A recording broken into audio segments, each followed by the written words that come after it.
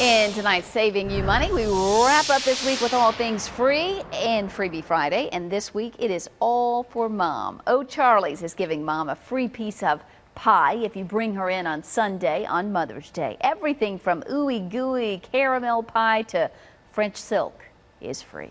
Redbox is giving free rentals to moms when you buy an e-gift card for Mother's Day. Now the idea is for you to give that free rental to mom along with the gift card. Hint, hint.